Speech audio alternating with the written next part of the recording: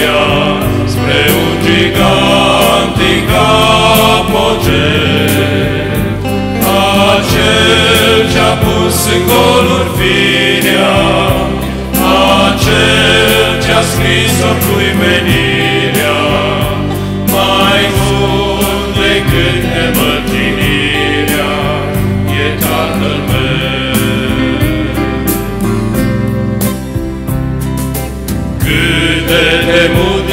Dumnezeu, Vuiau de pe Sinai ecouri, Când glasul Domnului vorbea, iar voi se înainta prin noi și tremura.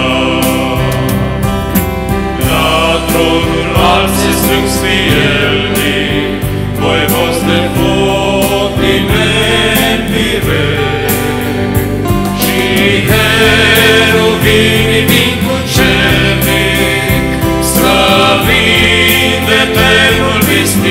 vistielnic, și acest stăpân tot puternic e Tatăl meu. Și cât de bun e Dumnezeu, Chiar dacă stelele bătrâne Tot au o vreme când se aștepta cine în Iisus rămâne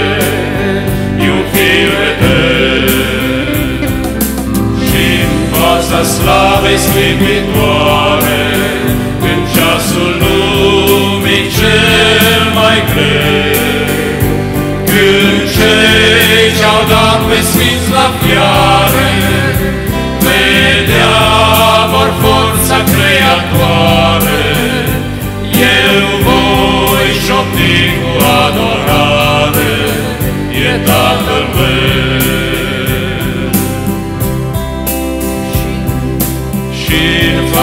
fața slavei scripitoare, în ceasul lumii cel mai greu, când cei ce-au dat pe sfinți la fiare, vedeau forța creatoare, eu voi șopti cu adorare, e Tatăl meu.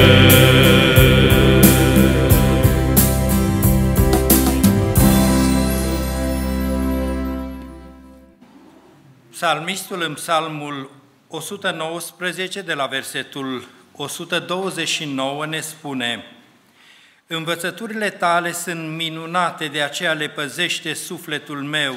Descoperirea cuvintelor tale dă lumină, dă pricepere celor fără răutate. Deschid gura și oftez că sunt lacom după poruncile tale.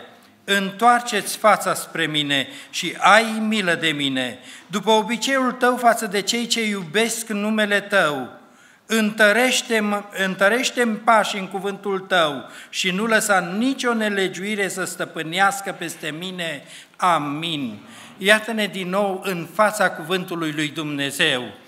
Stând înaintea lui Dumnezeu, i-am spus până acum nevoile noastre, problemele noastre, i-am adus recunoștința noastră, recunoaștem că depindem de El în toate lucrurile și momentele rugăciunii sunt momente în care vrem să-i adresăm mulțumirile noastre, dar acum suntem în fața cuvântului Său și trebuie să recunoaștem, cum recunoștea psalmistul, învățăturile tale sunt minunate, ele dă lumină, dă pricepere, de aceea cuvântul lui Dumnezeu este atât de important pentru noi și am dorit să ne rugăm Domnului așa cum se ruga psalmistul în versetul 133, întărește-mi pașii în cuvântul tău. Haideți, înainte de a asculta cuvântul Domnului, înainte de a asculta propovăduirea acestui cuvânt, sfaturile lui Dumnezeu, adresate cum găsește el de cuvință, prin cântare, prin propovăduirea Evangheliei, să întărească pașii noștri pe calea Lui, să întărească viața noastră, să modeleze caracterul nostru. Ne rugăm ca Dumnezeu să ne asculte. Amin. Tot.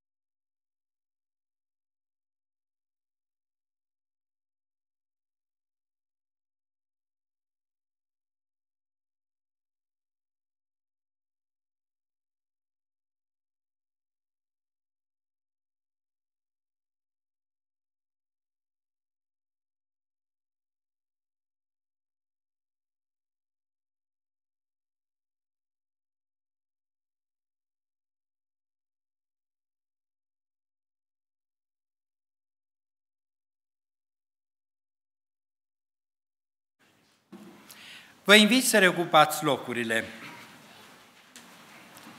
Mulțumim din toată inima Domnului, în primul rând, în dimineața aceasta, că suntem bine, sănătoși în locul acesta, adunați în casa Lui, în numele Lui, a Dumnezeului nostru, nume pe care dorim să-L binecuvântăm, să-L slăvim și să-L lăudăm. Fie dar acesta motivul principal al întâlnirii noastre din dimineața aceasta, din toată inima dorim să vă binecuvântăm în numele Domnului și dorim ca binecuvântarea Lui să fie peste dumneavoastră, cei prezenți, peste familii, peste rudenii, peste toți cei apropiați. Dumnezeu să vă binecuvinteze! Dorim să mulțumim Domnului și pentru oaspeții care îi avem în dimineața aceasta. Încep cu cei mai de departe, fratele Teo Costea. Dumnezeu să-l binecuvinteze venit din Phoenix, Arizona, cu ocazia anunții al lui Găbiță, Domnul să-l binecuvinteze pe fratele Teu, care a venit împreună cu soția, nu este prezent aici, eh, sigur, mult mai mulți lipsesc în dimineața aceasta, se pregătesc de nuntă deja, Domnul să-i binecuvinteze familia, Domnul să binecuvinteze biserica de unde vine, în care slujește în bordul pastoral, Domnul să-l binecuvinteze. Și în dimineața aceasta să-l îi dea har, inspirație în cuvântul care vrea să ne-l adreseze din partea lui Dumnezeu. Avem pe fratele Rică Buciu. Pe dânsul cred că îl cunoaștem, a mai fost pe la noi, a revenit din nou și dânsul a venit cu soția, dar tot fără soția aici. Domnul să-l binecuvinteze și în dimineața aceasta să-l întărească în timpul propovăduirii. Avem și pe fratele Georgel, prietenul nostru Georgel, prietenul Georgel, pe care cred că îl cunoaștem după nume toți. De atâtea ori sora Maria Ignatovici spunea, am un băiat Georgel și o fată Simona, de care sunt așa de departe, rugați-vă pentru ei. În dimineața aceasta ne bucurăm de faptul că Dumnezeu le-a dat bucuria, în mod special Sorei Maria, ca să-și aibă fiul aproape. Domnul să vă binecuvinteze, Georgel, și să vă ajute să luați o decizie sfântă, să vă pocăiți. Domnul să vă binecuvinteze. S-a reîntors fratele Ionică cu sora Marcela după un timp foarte frumos petrecut în Austria. Mulțumim Domnului care i-a păzit. N-au venit singuri, sigur, mai devreme ca ei, dar plecați iar în luna de miere.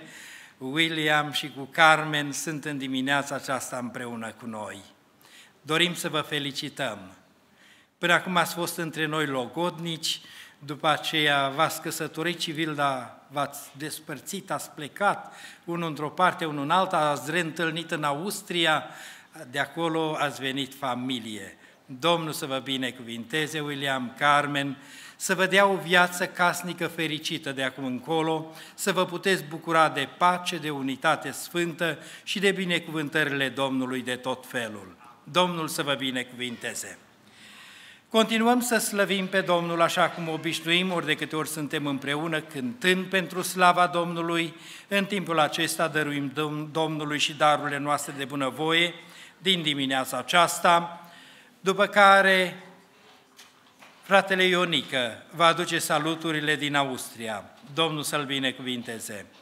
Apoi, corul slăvește pe Domnul cu o cântare, după care primul vorbitor din dimineața aceasta, fratele Teo Costea, din Arizona, Domnul să-l binecuvinteze și să-l inspire în privința vestirii cuvântul Domnului.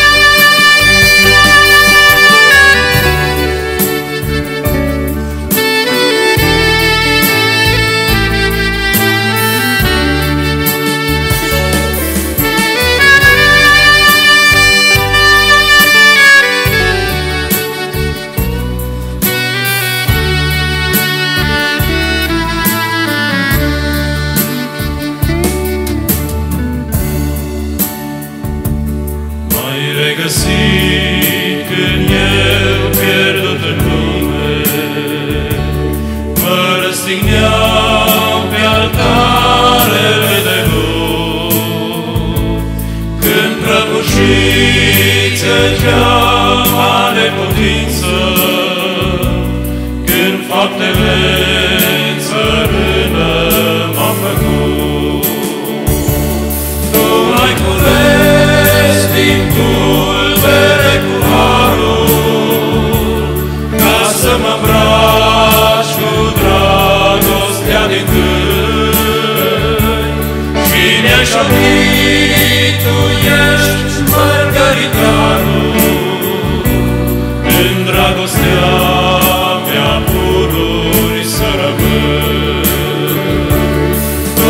Izbuzesc din pulbere cu harul Ca să mă îmbrac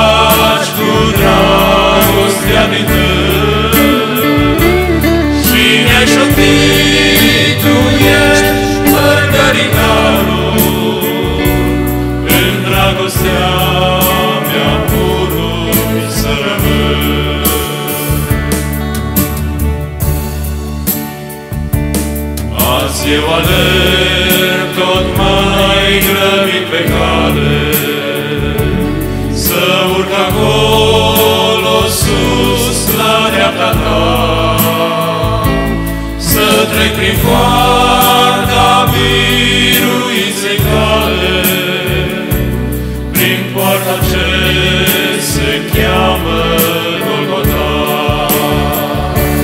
Tu mai curăț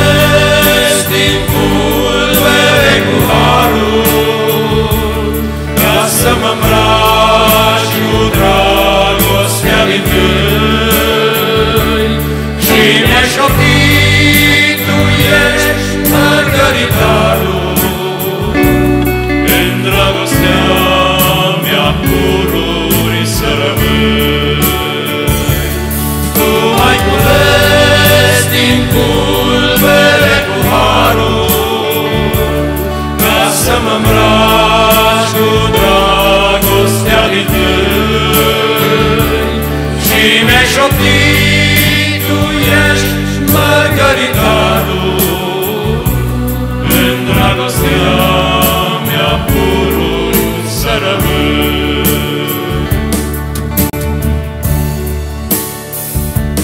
Iar dacă ne se acasă, mă vândesc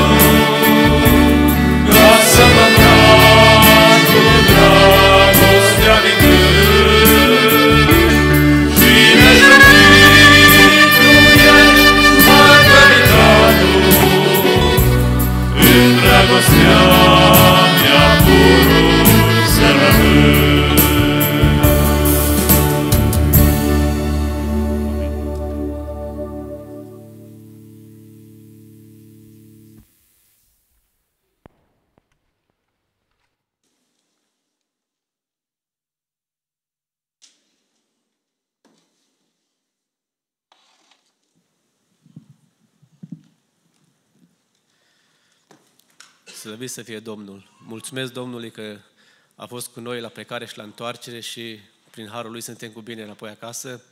Am avut un timp binecuvântat la nuntă, unde am fost la William și Damaris, apoi pe unde am călătorit prin Europa, prin Austria, Spania, România. Domnul ne-a păzit și ne-a dat un timp binecuvântat. Îi mulțumim Domnului pentru aceasta. Aș avea saluturi de adus din Austria, de unde am locuit noi înainte, din 1 Tesaloniceni, capitolul 3, cu versetul 12. Domnul să facă să creșteți tot mai mult în dragostea unii față de alții și față de toți, cum face și noi pentru voi, înși pentru voi. Și din Spania, din Toledo, de la cumnatul meu Vasile Tecar, avem saluturi din Evrei, capitolul 13, cu 20 și 21. Dumnezeul păcii care prin sângele legământului celui veșnic a sculat de morți pe Domnul nostru Isus, marele păstor al oilor, să vă facă de săvârșiți în orice lucru bun, ca să faceți voia Lui și să lucreze în noi cei plăcut prin Isus Hristos. A Lui să fie slava în vecii vecilor. Amin. Slavă Lui. Amin.